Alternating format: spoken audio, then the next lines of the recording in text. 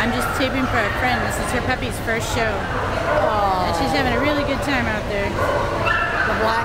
No. What do you mean, right here? Beautiful.